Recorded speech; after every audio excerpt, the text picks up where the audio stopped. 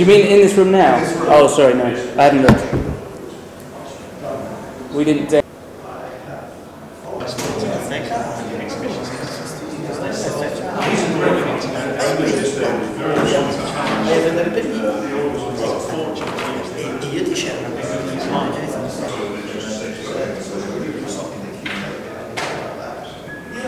Yeah, well, it's happening all around the world. It's happening. Other guys, we jumped in climate change. Recognise that sound? And it's an emotional decision for us. And we can do great work. Now, what do you think we won't be rented? Just 'cause we're gonna flip Uh, side. they one of to flip, isn't it? Yeah, we're gonna flip. That's true. We can do that rubbish stuff. My name's Jack Bremer. Uh, I'd like to uh, thank you for having us here at J and Beyond. Uh, I would like to introduce my brother and business partner, Alex Bremer, here on my left. Uh, we come from a full-service digital marketing agency in London called 3B Digital uh, in southwest London. Alex will tell you a little bit more about 3B in a minute.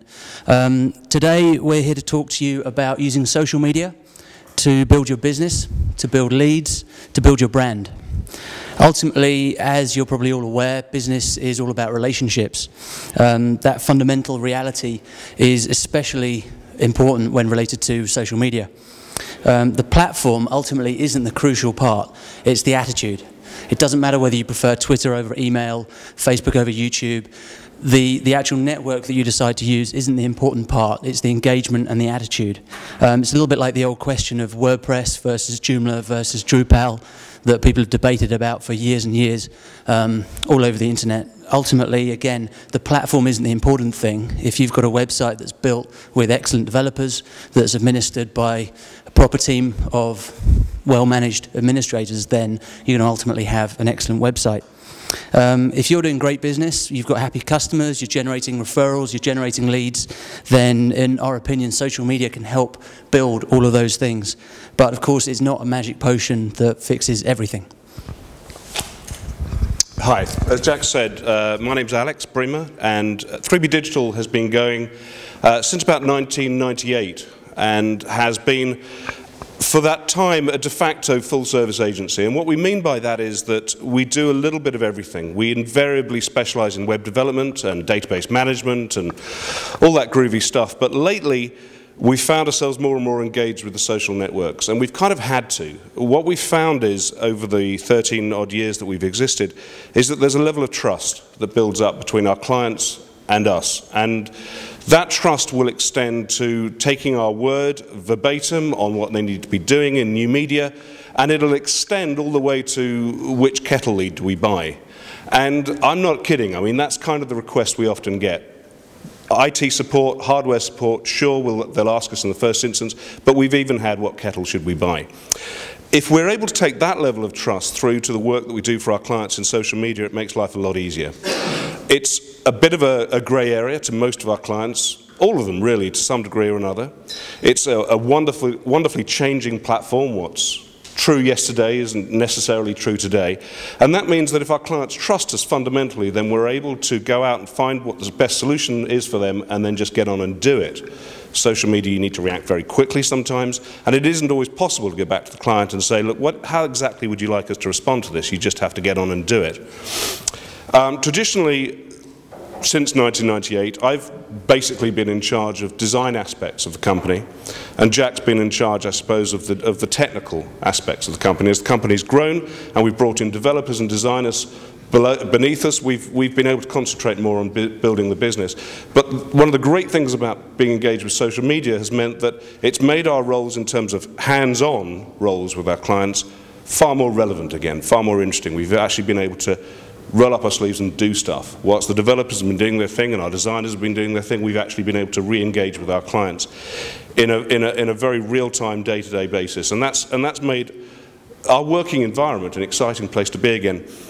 What we're going to talk about today is, is a number of the ways in which we help our clients engage with their communities through social networks. And in the limited time that we've got, and I, I'm hoping an hour is going to fly by, if it doesn't fly by, if we finish early, we've got a song and dance routine worked out for you, but we're hoping we time it about right. And I think that we've just about got enough time to give you a few case studies, a few examples of the sort of things that we've had to do for clients, and that include building YouTube pages, helping with a Facebook profile, LinkedIn, and all the rest of it, but also engaging in the conversation. And invariably, when we're dealing with our clients, in the first instance, when they finally say, you know what, I think I need to know a little bit more about this social, social media malarkey, we are faced with a certain amount of negativity, a certain amount of misunderstanding about the concept of social media. And that means that we, jump, we tend to jump straight in with a really prime example of how social networking has helped us, has helped 3B in an almost instantaneous way. Um, and this happened uh, towards, the end of, uh, towards the end of last year.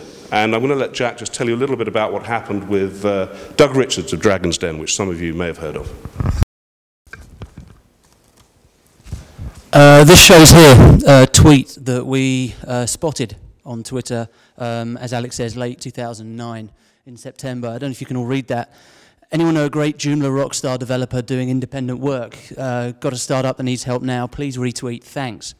Um, Doug Richard, who you can see there that posted this tweet out, uh, as Alex said, is one of the judges on Dragon's Den. Um, I don't know if you're familiar with that show. It's um, entrepreneurs go on television in front of a panel of, multimillionaires uh, pitching their ideas, hoping for investment. Um, so he's obviously got his, his, finger in many pies with regards to um, startup companies. So he posted this out. I've got a permanent column on TweetDeck searching for Joomla, PHP list, various other tools that we use. This popped up, and within, within seconds, I was able to respond with just a simple, how can we help? And two weeks later, we landed the biggest piece of work uh, from 2009. That didn't involve a meeting with him at all. Uh, he, as soon as I said, this is, you know, this is what we do, how can we help? He got in touch with this startup, with this entrepreneur, and said to her, we got these guys, I've seen the site, it looks like they can help. He put her on, uh, onto us, and uh, the rest is history. Um, if I just jump to the next slide, you will see here the site that we ended up building. It's called Third Year Abroad. It's a language site for uh, students studying languages that want to do a third year uh, in another country studying this language, it turns out that, that that isn't really catered for yet on the web. So it's for students and parents. And this is a site here which is essentially a social network. Um, we've incorporated into this Joomla site Mosets Tree that you may be familiar with, K2, Facebook Connect, Community Builder, uh, and extensive geotagging through some custom Google Maps components that we, uh, that we built. Uh, the point here is that it's a good example of using social media as a business-to-business sales pipeline. Uh, it doesn't have to be all that different to any other way of, of, of, generating leads. It's just that much quicker and that much more personable. Someone can fire a tweet out, you can get back in touch with them. And of course, it doesn't just have to be Twitter. This is just the example we're using here. But someone can fire a quick question out. You can demonstrate uh, some knowledge, some helpfulness, build up some trust, and off you go. Uh, as I say, one tweet is often enough to build that trust. And off the back of a single tweet, uh, this is just one example, but in other cases, we've been sent emails with full server login details, Joomla admin, control panel passwords, the whole works. Off the back of a single tweet, uh, there's an amazing amount of trust that is garnered through social media um, that we've found. Um, I just can't think of any other communication method with that amount of power. Um, I think of it in comparison with email or phone or whatever else. And it seems to me that social media just builds that trust so quickly. Uh, we've ended up with clients as a result of this approach um, across America as well as in uh, all through the UK and Europe. I'm going to pass back to Alex now, who's going to talk a little bit more about Facebook. This next slide shows uh, part of part of the Facebook fan page that we built for uh, one, of our, one of our clients. This is a client, in fact, that only uses us for social media. Uh, we're still uh, bugging them to give us their web development work, and uh, I believe it's pretty much in the bag. But we started out and remain predominantly involved with their social media. Uh, they're concert promoters, Marshall Arts is their name. They're big concert promoters. Their, uh, their stable includes Paul McCartney, Elton John, uh, Prince, Pink, and, uh, and the extraordinary uh, Whitney Houston debacle uh, that happened very recently. We're going to talk a little bit more about that later. Um, because the uh, negative aspects of social media are really just as important to understand as the positive. But this is a positive. This is a positive story. Uh, the fan page was quite new. Their Twitter presence was quite new. We know that there are thousands and thousands, hundreds of thousands of fans out there actively engaged in social media who are interested in the stable of artists that this promoter represents. We know they're out there. And so the first stated aim was, the first stated aim when we get involved with Marshall Arts and social media is how do we increase the number of followers on Twitter and fans on the fan page? Let's start from ground zero. Well, the obvious way, it seemed to us, and ultimately successful, was to have a competition for uh, the artist Pink, who's coming over for uh, the second of two tours in the last 12 months to the UK. Uh, let's start out a competition. Let's send out some tickets. Let's send out some goodie bags. Um, not the kind of thing I'd be particularly interested in, but it turns out exactly the sort of thing her fans are interested in. It, it helped, I think, to some degree, that Pink is very, very active on Twitter, particularly, and has, a, has a, an awful lot of followers. So we didn't have to do very much in terms of announcing on the fan page and on the Twitter page, which at the time only had a few followers, that we were going to start this competition, and it propagated. It looked after itself. They announced it to their friends, who announced it to their friends, and exponentially the message grew. And it was, a, it was a wonderful, easy thing to do. And the result, the immediate result of that was when the prizes were given out, was the positive message that just poured through the online communities. My goodness, I can't believe this goodie bag I've got full of pink crap, basically. they were absolutely over the moon. Um, and I think that this is a prime example of, of the sort of the sort of thing that a client needs to commit to. You can't just do it once, so it should never be a campaign, we're going to talk about that. Social media must be a commitment, and this is a, this is a good way of making sure that you've got an easy way of engaging on a regular basis with your, with, with your, with your fan base. Um, Otherwise, it becomes what we, what we often term a social media graveyard. And you'll see them everywhere. You can troll through Facebook, you can troll th through Twitter accounts, and find people who haven't tweeted or said anything in months and months and months. And it's a graveyard, and, and they will lose their followers as a direct result of that. I better find out what we're doing next. Here we go. Right, so setting up Facebook fa fan pages, easy enough. Setting up Twitter accounts, easy enough. Obviously, there are lots and lots and lots of platforms and networks that we feel broadly fall under the term social media, and YouTube, of course, is one of those. It's a social network, same as any other. And here we're showing, the again, the Marshall Arts YouTube page.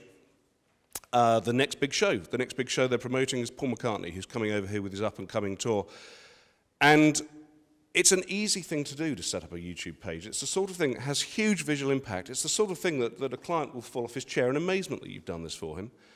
But it takes about an hour to do, maximum. Make sure that you've got all the assets from the client. Make sure you understand what they want to say. Try, if you can, to get the video content in high resolution. That's not always possible. This is a prime example, actually, of him, uh, of the promoter very excitedly sending us over a load of video content, but it was in dreadful resolution. Well, we had to get it out there.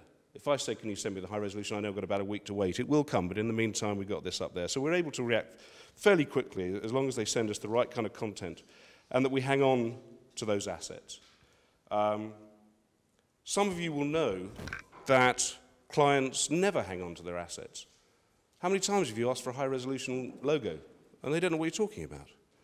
Keep it all. Ask for everything high res. And when you've, when you've got that, when you've got all the right assets and all the right folders, when they suddenly say, you know what, we've got a, Prince, a one-off Prince concert happening in Hyde Park next week, we need to rebrand, you can just do it. You can just do it really, really quickly.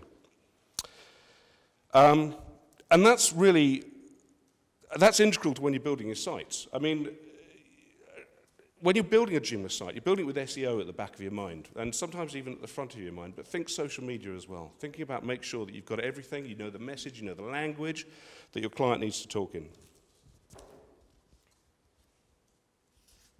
One of the things we do actually while we're talking about YouTube, sorry mate, can we just go back a second? It is relevant to the next slide as well. We will very often do a little trick in a meeting. If we've got a client pitch meeting, we're trying to convince a client that they really need to start thinking about social media we'll do a little trick with the iPhone. And it's an easy enough thing to do, and I bet you've all done it. We just grab a bit of video. I'm not going to do it here because the bandwidth isn't very good. Grab a bit of video, literally two minutes later, 120 seconds later, you can have it on their YouTube account. They're blown away. They'll fall off their chair at that kind of stuff. But the penny drops. You've got them. Social media is easy to do.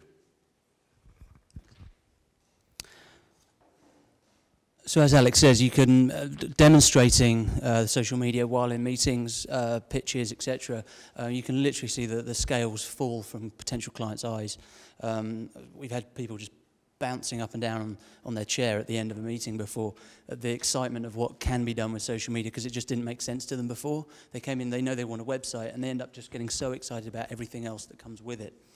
Um, ultimately, Joomla uh, and its relevance to social media, it allows you to simultaneously um, complete the loop between all the networks, allows you to join the dots. Um, using Joomla to demonstrate the social networks, to uh, incorporate them into the website, um, is a fantastic way to go. And as I say, Joomla makes it easy, whether you're embedding Twitter feeds, video channels, or integrating with Facebook uh, and the rest. Uh, this slide here shows FESPA, the Federation of European Screen Print Associations, uh, which may sound like a little bit of a sort of dry subject, but with the website we've been able to make it much more interactive uh, and exciting and engaging through the use of social networks to push out appropriate content. Um, they are uh, a global federation uh, with very uh, wide reach. Um, and they have, at some level or other, pretty much engaged with all of the social networks. So we've got here, um, you can see this is what we call the social media resource layer. We've got Facebook, LinkedIn, we've got RSS feeds, we've got YouTube, we've got a Ning network, um, the Twitter account showing a couple of tweets of any mention of the company. We've got up the top here on the right, we've got a YouTube playlist, um, which is dynamically created whenever uh, certain videos are added to their playlists online. We've got surveys, blogs, the, the whole works going on on the site. They made a huge leap of faith here. Um, probably a year ago, they didn't have any presence on the social networks at all. They had several websites for their various exhibitions. Um, but as I say, they made a huge leap of faith and they've gone from having their videos as self-hosted WMV files within the website and having a closed community on their website now everything's out in the open. So everything's, it's YouTube channels with high definition video. Uh, it's a Ning network, multiple communities. Uh, and they've even taken on a full-time new media uh, staff member to oversee and action this comprehensive social media strategy. Um, as I say, they've made a leap of faith. Um, clients are often fearful or nervous of this engagement, um, of, of, dabbling with social media. Um, and many, in fact, dismiss social media out of hand as a waste of time or a risky endeavor because it may expose their brand to negative feedback. Any of you that deal with, with social media yourselves or on behalf of clients have probably come across such fears. Um, often they fundamentally misunderstand the nature or the purpose of social media. They might accept that they need to start a strategy, uh, but often they don't really know why or how. They just think they need to be out there. Um, anecdotally, we've had recent professional experience um, of a client Alex already mentioned this, um, they're on the receiving end of a deluge of abusive messages in relation to uh, a poorly received concert. To pass back to Alex, who can go into a little more detail. Yeah, this was it. I mean, uh, listen, the message we really want to get across today, if nothing else, is that social media a, has a positive impact on, on your clients and, and, and their brand. Um, there are obviously exceptions. And the reason we mention this is, is apart from anything else, it was kind of fun to deal with. Conventional wisdom says that when you come across negative comments, negative feedback in social media, you meet it head on.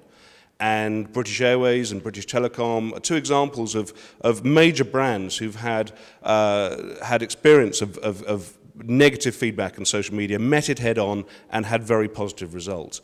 Um, and so it was that mindset that we encountered the extraordinary uh, storm, almost a perfect storm that Marshall Arts found themselves caught in when uh, Whitney Houston, uh, in her wisdom, chose to do a major tour, um, having recovered from drug problems, a major respiratory infection, um, and, and a lifestyle, a recent lifestyle that really doesn't lend itself to uh, doing stadium concerts.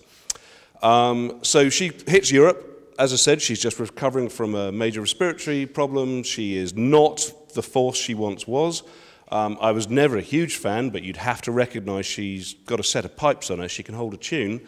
Uh, well, not anymore, it turns out. And by the time we realized what was going on, the press uh, was in a fever about the state of this poor woman. And of course, Marshall Arts' commitment to the social media platforms had afforded fans of Whitney Houston an ideal platform from which, in some cases, to hurl vitriolic abuse at Marshall Arts, demands for refunds, and imploring fellow fans to have nothing to do with this tour. Now, all through the beginning of this, we were saying, look, we need to try and respond positively. We need to communicate with these people within the platform that they've chosen to communicate with us. In this case, it was mainly uh, their Facebook fan page. Um, there were just two or three, just two or three fans who were particularly put out. And I say fans, I suspect that this character was probably the husband of a fan Tickets were £100 each. By the time you've taken your wife out for dinner, maybe even stayed at a hotel, you could be looking at a three, four hundred pound ticket right there to come and see a show that this fellow clearly felt was very, very poor. And he wouldn't shut up.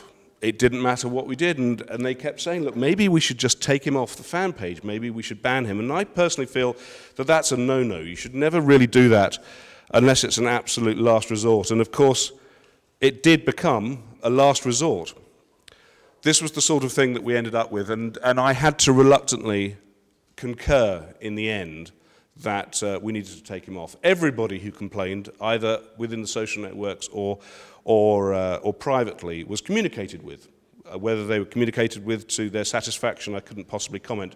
But ultimately, this chat was taken down off the fan page, as were two or three other people, and were written to uh, privately. Um, where, where it was kind of fun was it was a challenge. It was a little bit nasty for a while, but it was kind of a challenge. And, and it's another example of how, as an agency, you can kind of get under the skin of your clients a little bit. You can kind of understand their business model a lot better, sometimes in a very real time way. And in this example, we were at the last minute, we received a phone call saying, listen, guys, can you come over to the O2 Arena in, in, in London? uh, because we need to get everybody together. We need the lawyers, we need the accountants, we need everybody in the same room. We want you guys there to tell us what the hell we're supposed to do. Come and see the show. And we had a blast, as it turns out. We all jumped in a taxi and headed on over there and were treated like VIPs. And we watched Whitney from the front row, which I've never done before. I've always wanted to know how do you get down there? And there we were. I can pretty much kind of, I'm looking up uh, the poor woman's dress. She was great. It was actually a great show um, I'm delighted to say. I think we caught her on a good night, but we had a good time. It meant that we were able to go on the social networks thereafter and say, with some degree of credibility, I do not know what the fuss was about. This was a cracking show. And here we are. This is, uh, this is our head developer, Jordan. And the blurry man is, in fact, the chap that uh, our client FESPA has taken on as their new media. So we pretty much went on mass. And we're all pretty, we're all rock fans. This guy in particular, Jordan, is a drummer in a heavy rock band. Even he had a great time. He said, I've got to, I've got to concede, that was, a, that was a cracking show. So what we had was a storm of uh, dissatisfied people really feeding their own frenzy within the social networks. Uh, you see half a dozen people who really thought this show was, was, was dreadful, and you jump right in and join in on that conversation, and that was what we had to try and moderate. And ultimately, in two or three cases, actually take pretty drastic steps. Um, but there we go. So that was kind of fun. All right, so uh, that sort of negative story aside, let's assume that we've, uh, you know, we've overcome the fear. We've, we've, we've managed to persuade uh, a client that they need to engage positively with social networks. And so we find ourselves in these pitch meetings, either with existing or with brand new clients. We're finding more and more clients coming to us for social media in the first instance before they've even talked about a, web a website. And of course, Marshall Arts is a good example of that they may have this negativity, they may have some kind of fear, and we start talking about what really social, social media really means. And one of the things that I often say to them is, is, is that my feeling is social media is the internet growing up. And what I mean by that is it's the internet coming to human beings. It's, it's the internet working the way we like to work, talking with the language that we like to use. All right, a client understands that. It's certainly a way to make that elusive connection between new media, your new media efforts, and the real world. And the simple fact is that in our, it is our assertion that there's not a brand out there or a company out there, whether you're a sole individual or whether you're a global communications company, a global brand, that cannot afford to be engaged in social media. And we were talking a little bit earlier about commitment, and this is one of the other things we say very early to clients. If you're going to do this, accept this if nothing else. It's a commitment, not a campaign. And Jack and I often talk about the three C's. It's a commitment to conversation, not a campaign. commitment to conversation. It isn't simply a series or, uh, of announcements. We're doing this, we're doing that, aren't we great? You've got to be able to jump on the conversation. Inevitably, in the very, very early days, it can be a bit of a series of announcements. But once you see that conversation starting, you've got to jump in. And, and the simple fact is that for an awful lot of our clients and for most brands, that conversation's already going on. It's already going on. They need to jump in.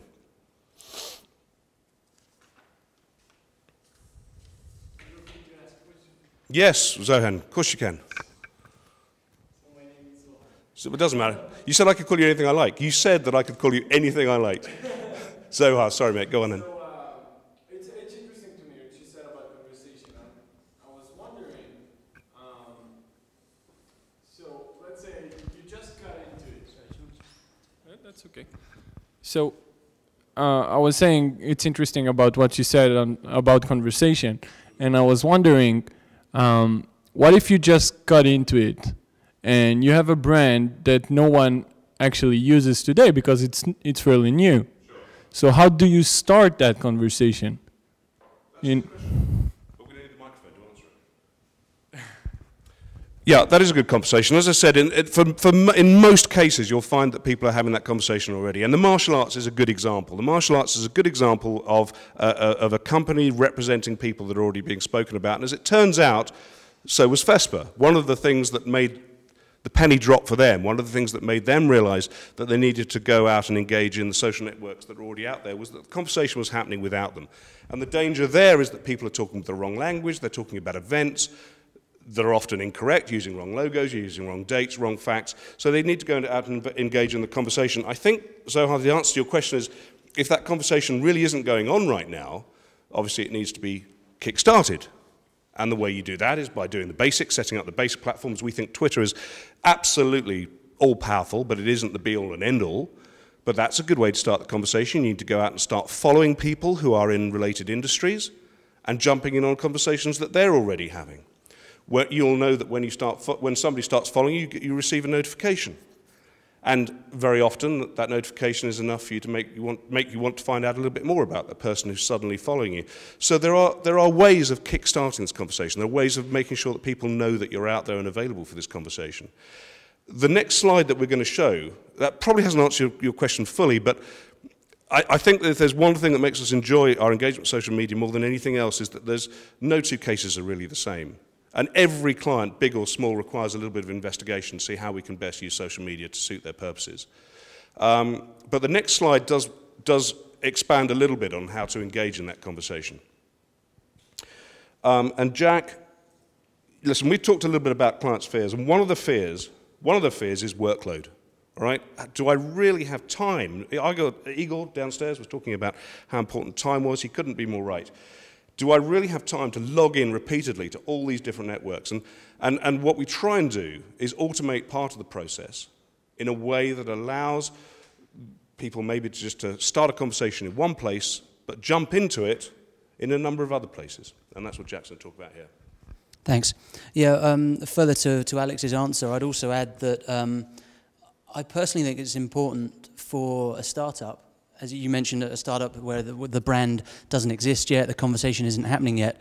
I would say it's all, all important for them. They'll probably think, I need a website, but they, they need more than that. They need the full strategy. So they may start with a website and maybe they have a launch party. Then they need to video that launch party and they need to put snippets out on YouTube just the same as, as you launch a new product, you may put out a press release. I would say it's all important to, to put that out through the social networks. Engage with people who are competitors. You'll find that they're friendly. Engage with people who are potentially interested in, in what it is that your brand is all about. Um, if there's something that's brand new that's never ever been done before, that's interesting. And if it's something that has been done before, then go and talk to the people that are already doing it. So I would say it doesn't matter if there's not a conversation already happening. Um, just just jump in there and, and, and start one. Um, what this slide shows is a typical flow of communication, flow of content for uh, a, a small client of ours. Um, these are essentially automated tools with some destination sites such as LinkedIn, Twitter, Facebook. This was a small, small client, they wanted to start a blog. They understood the importance of putting interesting industry-related content out there, and they weren't sure what would happen from there. They were, they were scared. I've, I've then got to post a link to this on Twitter and Facebook, and what do I do with it? How do I track it all? And for us, uh, tracking, usually using um, Google Analytics, campaign tracking um, codes, and Bitly, etc., etc. The, the, various tools uh, is all important. Um, and at this simple level, as I say, it represents the flow of communication.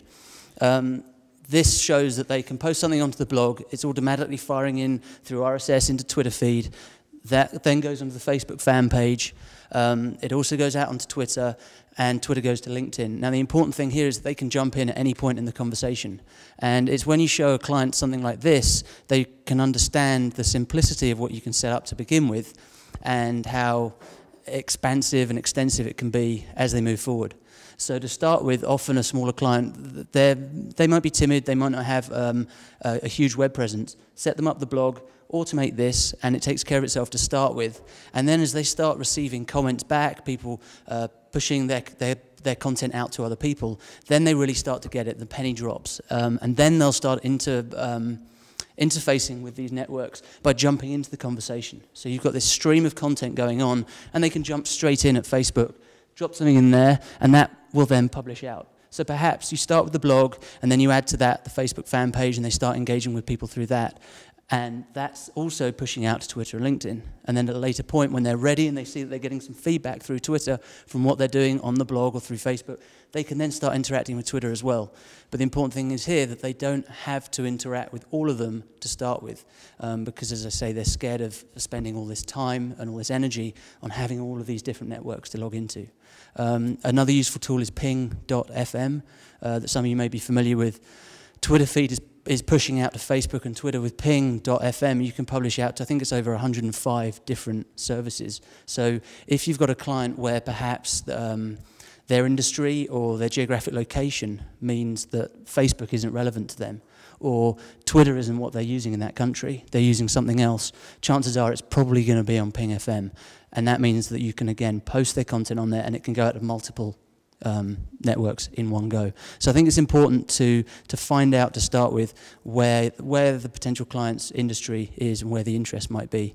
Um, a great tool I found just the other day is called flowtown.com for that, where you upload the entire email database and it will go through their database of however many thousand email accounts you put in, and it'll tell you of those people how many are active on MySpace, Facebook, Twitter, etc., the main accounts and it'll give you a percentage breakdown. So you can say to a client, right, of your 100,000 contacts, 72% have got Facebook profiles. That's where we need to start. Or it might say, you know, only 10% are on Twitter.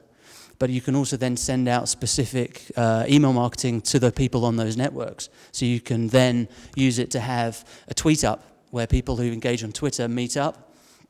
You can market that just to your, the people that are interested in your brand who are on Twitter already without boring the people who aren't interested. Um, the two that I mentioned there, it was ping.fm, and then the other one was flowtown.com. So as I say, the important thing here is that the automation is making life easier for you, uh, making life easier for the client. And if you can show the clients that level of automation, how easy it can be, then I think that that can really build um, a lot more business in this area for you, as well as using these. Ultimately, we're doing these things and it's building our business and so we can then pass those tips on to clients and that's helping build their business. Um, so as I said before, Joomla can help. Uh, Joomla can help you sell social media if that's what you want to do uh, to push it out to your clients. Um, Joomla can help build those strategies easily. Uh, it doesn't matter whether you're pitching to a new client or an existing client, the notion of social media. A Joomla site, in our opinion, is the ideal environment from, for, from which to do that and to show the true integration of all of these networks um, to demonstrate everything that we're talking about. Um, Brian Teeman's just walked in the room. He, he told me a little while ago, and he'll probably be telling you a little bit more about this uh, as the weekend goes on, that Joomla is actually the Swahili translation uh, of, well, it's, it's the word altogether in Swahili is, is Jumla, and Joomla, as probably many of you already know, is, is taken from that word uh, with creative spelling um, for reasons that Brian will go into. Um, altogether, I think sums up well what the, the social um, networks and social media, social engagement are all about Whether the stated aim is to drive people to a website or feed the conversation from a website, uh, a well-built Joomla site can both display and integrate with all of these social networks uh, upon which your strategy can be built. Um, Joomla, as many of you will have discovered if you've been developing Joomla sites over the years, um, the Joomla extensions directory is fantastic. So often a client needs a new feature for their site, you can take a look on there and you'll find it's already been built. You can play with it, customize it, change the style, what have you. Um, just broken the barrier of 5,000 plugins on the extension directory. Um, of which I did a little search here. You can see Facebook or Twitter or YouTube, etc.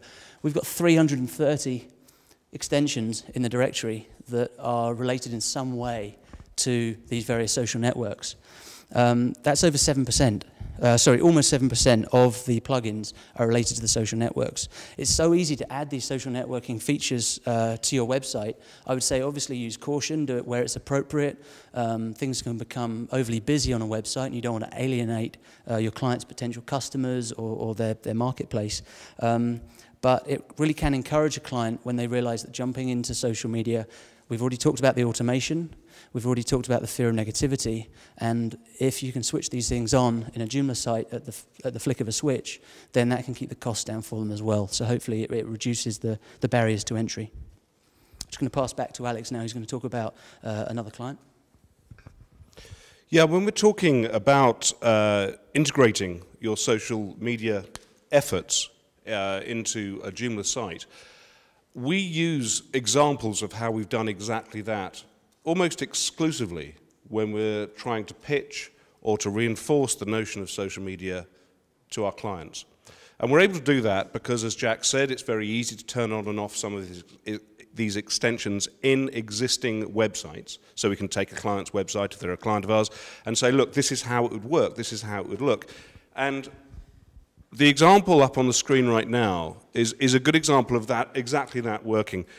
This is an alumni association of uh, a public school on the south coast of England. Exactly, exactly the sort of people that need to be engaged in social networks and they weren't. It was an, another good example of the fact that they weren't engaged in social networks, and yet their entire membership already was. The conversation was already going on ahead. Uh, without them, they had no control over that conversation, they had no moderation rights, they didn't know what was being said.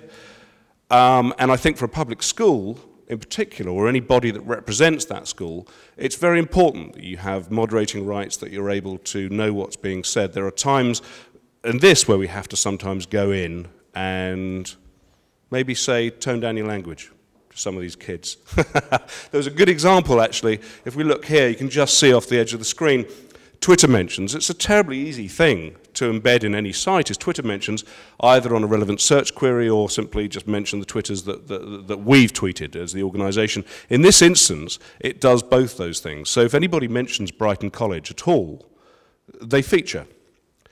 And so it was a little embarrassing when one of the girls at school called somebody else a wanker, and up it, up it came.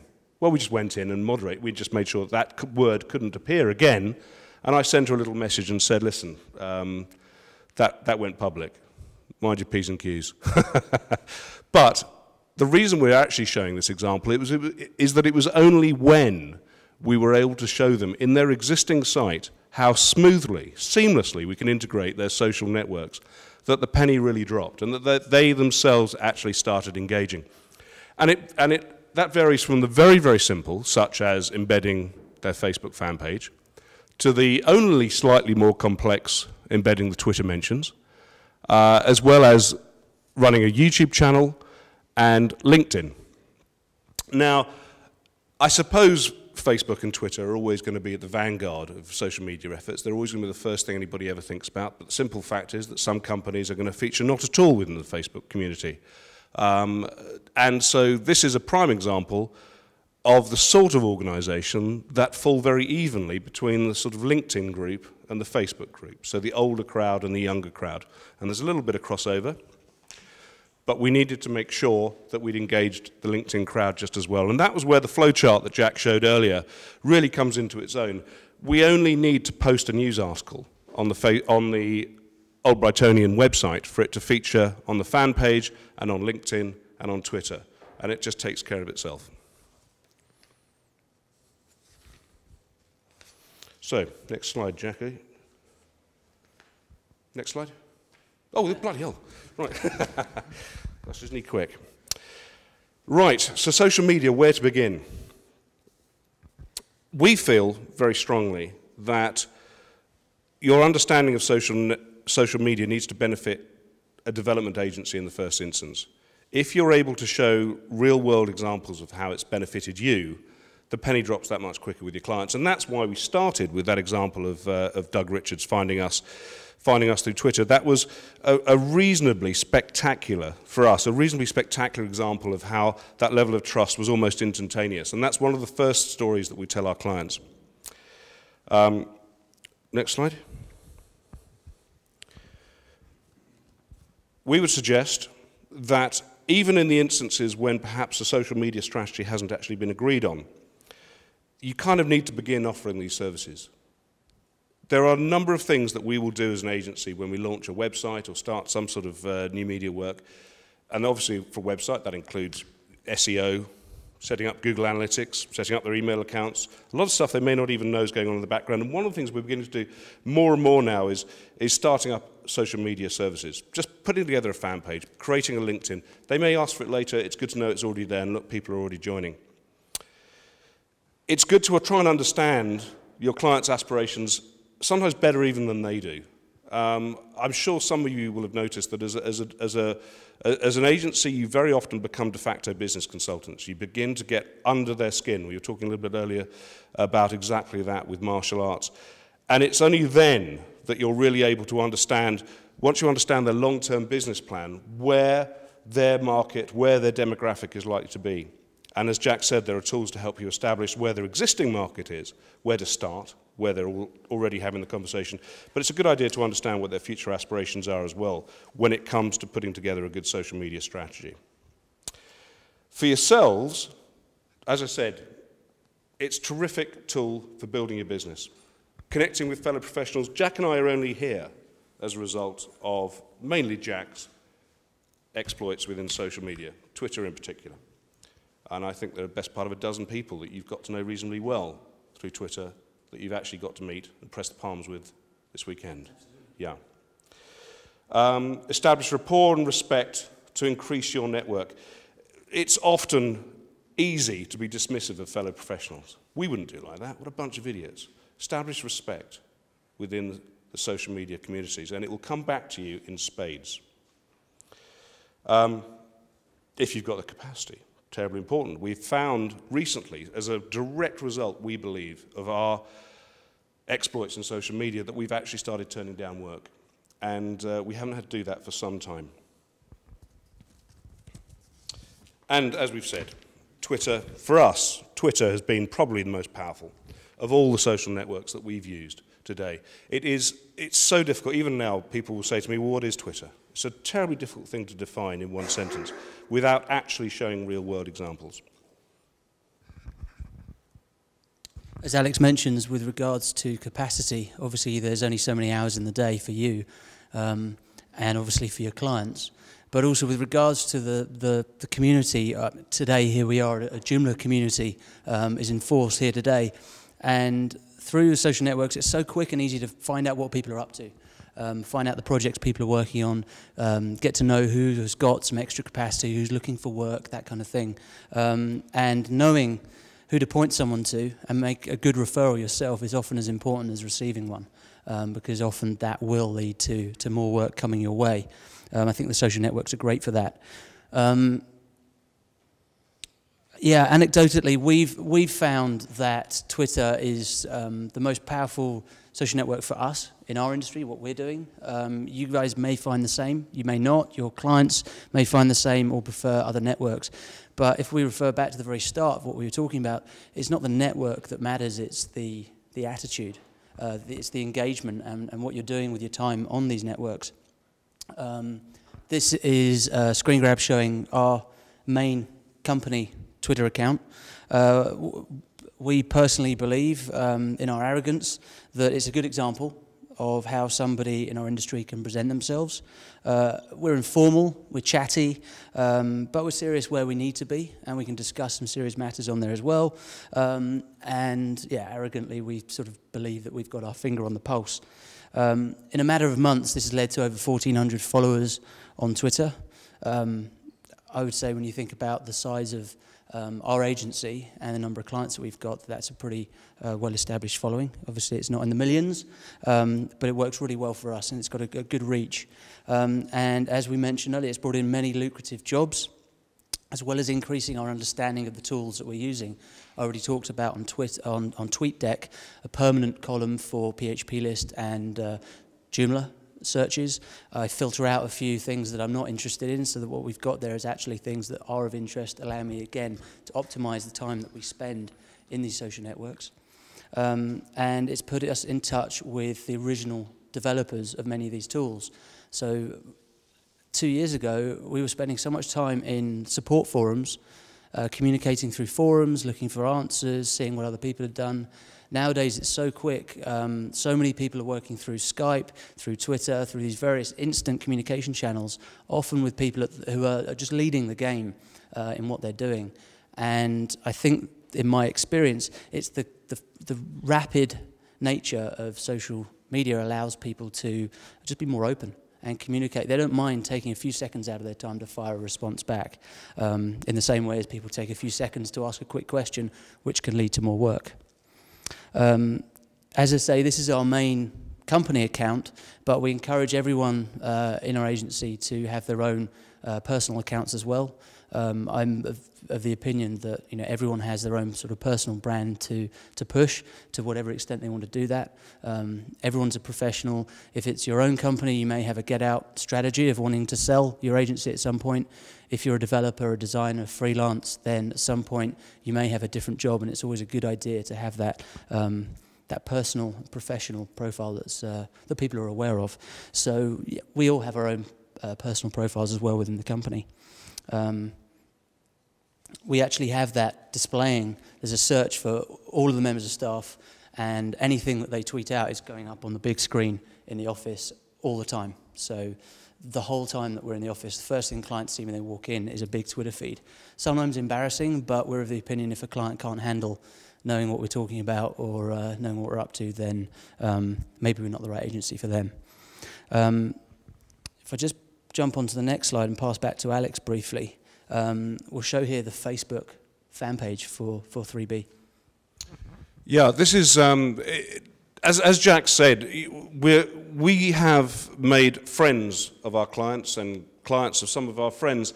We feel very strongly that if they can't appreciate us at play as much as they can at work, well, then maybe we're not, not the right agency for them. And obviously there are extremes, there are limits of the sort of things we want to see our clients uh, you know, witnessing. But generally, we feel that it's a good idea to document everything. A passing thought, or in this case, the arrival of a new iPad, which happened last Wednesday. Aren't they great? I see you playing one over there. Yeah, fantastic. We were very excited, and all our clients knew that we were very excited that this thing was coming. And so the second it arrived, picked up the iPhone, snapped some video. Minutes later, it was out there. And that led to the phone going. It's this sort of thing that keeps you in your client's mind. You're coming up on the newsfeed because it's automatically tweeting out as well. And people are ringing up. I can't believe you've got your new iPad. We've got to come round and play. The conversation begins. It may not be about the next, next piece of work, but it leads to the next piece of work. It's very, very powerful. Announcing a new online shop for the English National Ballet. Well, that's quite a big shout. We are quite proud of that, but the fact is, even if it was just a new section on one of our smallest client site, we would we would shout about that just as much. Or it may simply be that Friday, just gone, we decided it was Cowbell Friday. So if anybody wanted to ring in or tweet in or email us with a song with some cowbell in it, it went on the stereo. Keeps us in our clients' minds. Very, very powerful. Over to you, Joe.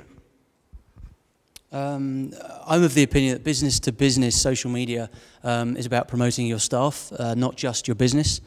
Um, so if you've launched a new website, don't just tweet out or put on Facebook or whatever network you're using, we've launched a new website. But also where you can, give credit. You know, if you've got one of your main designers who's done a great job on it, let the world know who it was. Still be we did a design, we've launched a new site, check out the design that Joe Bloggs did for us. Um, you know, push your developers, help establish them um, in the professional community. Um, if you've got awesome photos for a client site, uh, often as you're probably all aware, great photography can just bring a site to life. If the photos are great, then tell the world who the photographer is. We've got various freelance photographers that work with us. We don't need them enough to have them full time, but when they do a great job for us, just pushing it out there. If you've got your existing client base and they see that, they might go, crikey, I need some great photography like that done. You can give the freelancer some more work. It'll all come back to you. It's, it's all um, a big fuzzy circle of love. Um, I would say if you're creating content for your site, um, people have harked on for years. It's all about content is king, content is king. You've just got to create more content. Um, but ultimately, no one's searching for content. They're searching for the answer. They're searching for information. They're searching for whatever it is. They don't go out just looking for content. Um, but if you're creating relevant content that's interesting, that people will want to share, that's great. But if you've got all these people sharing it, it's okay to put a call to action in that content. So if the content is ultimately back on your website in a blog or it's a new site that you've launched or what have you, allow people to comment on that. Allow them to pick up the phone, encourage them to do it.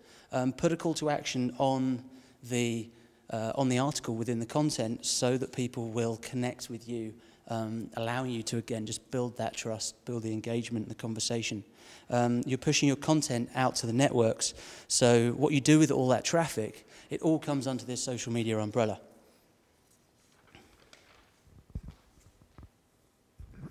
Now, it may very well be that much of what we've spoken about today, Jack and I, the majority of you are already aware of. And I do know that an awful lot of people here are very, very active in social media.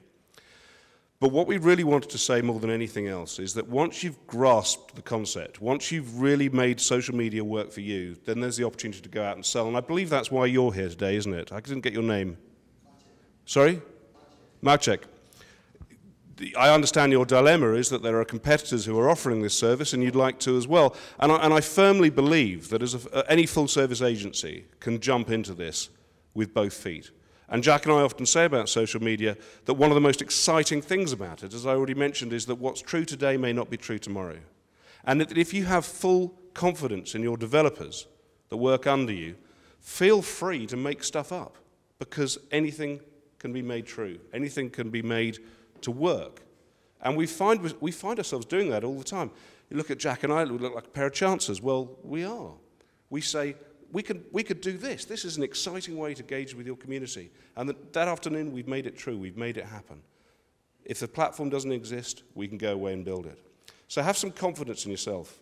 And if you have confidence in yourself and respect for the community that's already out there talking about the sort of things that you want to jump in on, then you can make social media tremendously successful for you as an organization and also for your clients.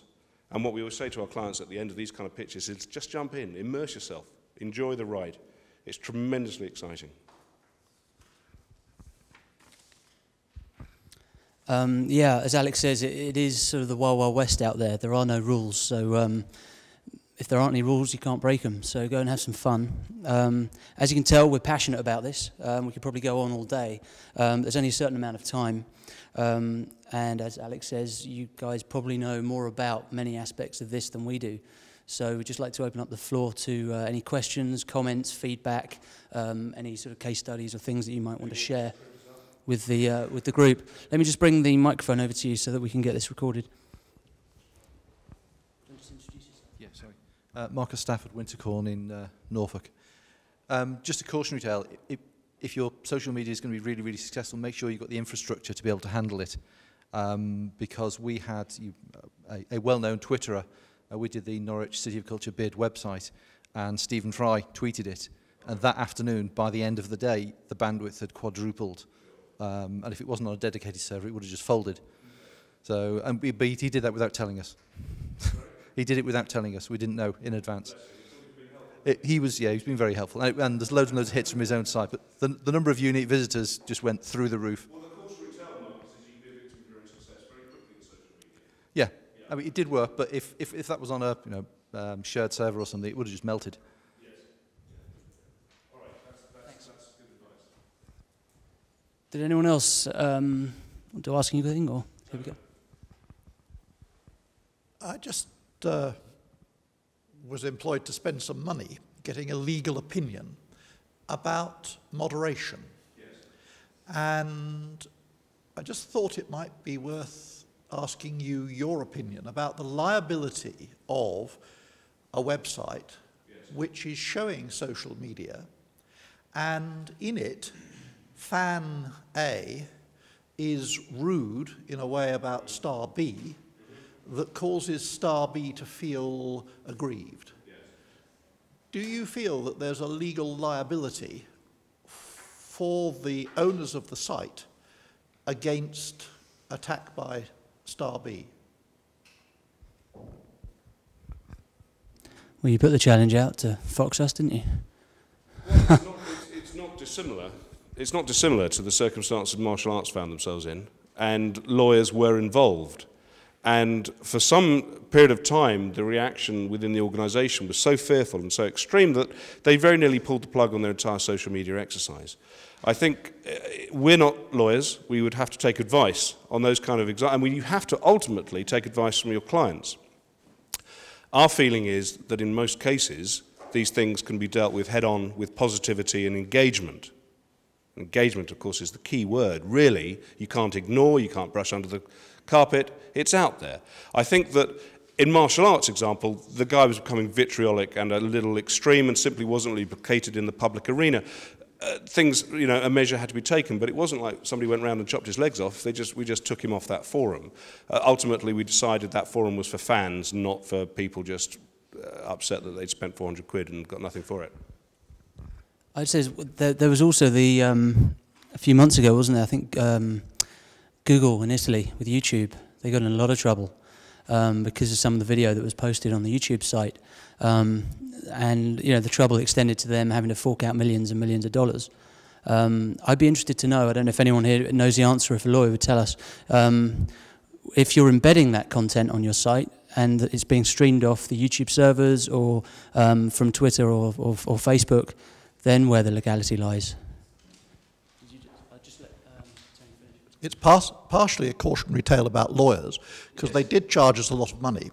But during the last election, uh, there was an attack on the Labour Party because somebody on a Labour blog had published um, something that caused offence, and they were taken to court. And there is actually a High Court judgment that says you, the site owner, only become liable if you moderate. because by moderating, you have joined with the person who says the rude thing in agreeing to publish it. If you just leave it flow past, it doesn't matter. If people are interested, I can tell them, maybe not today, but tomorrow, uh, specific references both to a blog where this is talked about and the judgment. But it's English law. Yeah, moderation is definitely an interesting topic. I, I wasn't aware of, of, of, that approach. I know that Brian's got something to add uh, at the back here. Let me just pass this over. Yeah, just um, carrying on what you were saying, it does obviously depend on the country that you're operating in. Uh, because the, the libel laws in different countries do, do vary quite a lot. Um, there is um, case law in, in England, at least, that if you are the service provider, you are not liable um, for any libel that takes place on your content if someone posts something until the point that you're notified of it. At the point you're notified of it, then you do potentially become liable for, for, for you know, uh, getting into trouble, let's say. Yeah? So at the point you're notified of it, you then do actually have to make a decision, whether you've got a no moderation policy or not, as soon as someone notifies you um, that there's, there's some questionable content, um, then uh, you, you are potentially liable from that point onwards. Um, uh, there is one uh, website for, at least if you're in the UK, which does go into um, all this sort of stuff in great depth, uh, which is a, a lawyer's website, but it is readable by non-lawyers. Um, uh, and it's called outlaw.com, O-U-T-L-A-W. Um, but again, just to emphasize, that is English law. And the law is going to be different in each country. I mean, I know we've got the EU now and things, but when it comes to libel, public privacy issues, all that sort of stuff, it is different throughout uh, throughout Europe, especially. Are there any other questions, comments? Uh, just uh, from personal experience in a libel case um, about publishing, just because you're republishing someone else's libelous comments doesn't mean that you can say, well, they did it first. The person who's suing you can decide who to pick and choose to libel. If some Microsoft tweeted that you know, he didn't like you, and I retweeted it, I can, uh, sorry, you know, I don't necessarily have to go after Microsoft. I can say, fine, I'll, I'll leave them alone because they've got lots of lawyers. I'm going to come after you. Um, and also regarding British law, you can, there's probably been a lot of talk about this in the press recently. You don't necessarily have to be operating in the UK to be subject to British law, to uh, English law. If it's readable, if it's published and readable by someone in the UK, you can be, sub, you can be subject to UK law and be sued in the, the court, regardless of where you are. In fact, the state, some, several states now put in the United States have published laws prevent um, stopping those sort of judgments um, being relevant in the States because there's loads and loads of libel tourism. Because all you have to do is, is say, I'm at a computer in London, I've read this, I'm now offended, I'm going to sue you in London, even though you're in Iceland or wherever.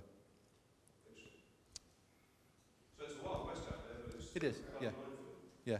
But yeah, but Brian's quite right. As soon as, as, soon as, you, as soon as you're on notice and you start the, the pre, um, the, or the pre, preamble, whatever, then just take it down.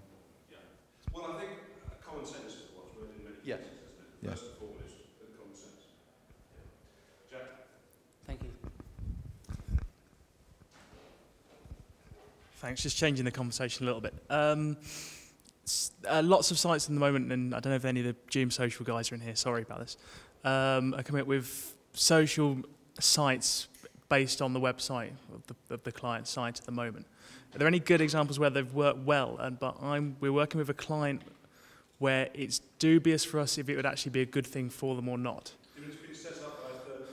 No, the, no, no, no. Actually, they, they, they're talking about putting it on their current site, but it would only duplicate a lot of things that are out there. Other social sites are on the same topic and duplicate Facebook groups, and we can't.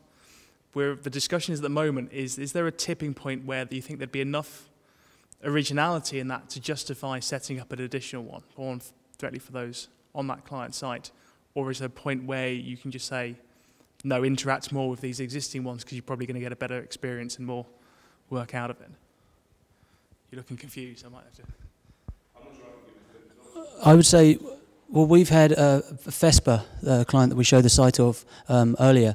They're a good example where they we built using Community Builder back in Joomla version one days. Um, we built their community within the site, um, and of a potential probably half a million people around the world that might want to be interested. There were about 5,000 that they would have allowed to join, um, you know, that they would have approved membership of, and they got 127 members, of which um, a very small fraction uploaded their photograph and added, you know, entered any kind of personal details. Obviously, nowadays you can make that a lot easier using Facebook Connect and this kind of thing to drag all of their, um, a lot of their content and a lot of their information across to make things easier, less of a barrier. But they found by doing, by trying to keep control and try and have everything their own, so they've got ownership and they've got um, this direct line of communication with people, um, they, it, it didn't really work. Now they've got a Ning network. Um, anyone can join that's involved in wide format print. It's called the Wide Network, and they've got well over 1,500 members now as a result of just making it more open. And one of the things that I point out to them was if, um, if new improvements come out, um, then Ning are just going to improve it, and it improves for everyone across the network. Um, whereas if new improvement comes out, you've got to update this, you've got to maintain this, look after the security on the site. So I think um, what you can't do is build a site add community features to your Joomla website, which can be easy, can be difficult depending on what you want to do. You can't do that and then leave it. It's not a kind of set it up and let it run itself. Um, we've talked already the legalities, moderation, um, and everything around that, but also just engagement, getting people involved. Why, why would someone want to come and join a community when there's three people? They want to, if they're already talking out there, then yeah, it's, it's a question. There's, there's no right answer. Ultimately, the clients all usually want ownership of all that data, don't they? And they want it going on in, in their walled garden. But sometimes if you let that happen somewhere else, let someone else take responsibility, let someone else market it and push it and deal with the legalities, it, there, there's no right answer, and it, just, it does depend on the client and the industry. established communities about this topic, about it's sporting, national sporting organisation. And they have, there are established communities, uh, well moderated, with really high involvement, but they, they, they've got an idea in their head that they'd prefer it all to be on theirs. Um, Giving something back and sharing and all the rest of it. Why do you want to build, a, as Jack says, a walled garden um, that can cost a fortune and nobody ever really wants to look after? No. Are we done? Any, any more questions? Terrific. Oh, well, did, did you have something to say? No. Okay. Please do. Um, sorry, if you want me to have it, I'll have it. We had, we had an odd one where we got some, um, some content for a client, and we, it was legitimately purchased, and, and, and ultimately the client ended up with um, massive lawsuits. Um, just because the content came in a, in a way that, if it had, the, the content and the pictures were basically taken from other places. But because of the way we'd integrated it into the client site, it wasn't our responsibility. We were just passed it through legitimately. And there was just a big situation where the client ended up with like thousands of pounds worth of bills. Uh, no, we negotiated it. Um, we negotiated it out. But it goes to show how if you don't watch what you're doing quite, quite quickly, through, even through legitimate means, you can put content on client sites that are a bigger problem than not.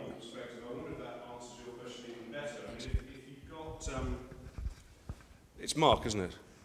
Mark, is it? Yeah, no, you. Chris, I beg your pardon, Chris. I wonder if that answers Chris's question even better. If, if, um, if you're out there in the existing social networks, maybe legally you have a little less responsibility over that kind of content. Um, if you own it, then you're completely responsible. Um, I don't know, and it probably it's probably different territory to territory. But I, but for our client base, for our existing client base, using social networks that exist is definitely the way to go. Obviously, you've got to be careful with content. Uh, was that a Getty issue? Yeah. We had just just just round off. We had an extra, one of our developers who's who's who's now does a little bit of freelance work for us, but has left us. Did a site freelance, uh, used a tiny little stopwatch that they'd found somewhere or other uh, just for a short period of time, and it was a Getty image, and Getty nailed them for 1,500 quid. Well, okay, 1,500 quid, they paid it. Yeah, I can believe it. But we heard of a horrific story. I mean, he's learned his lesson. He won't do that again. And we've, we've always been very careful, uh, touch wood.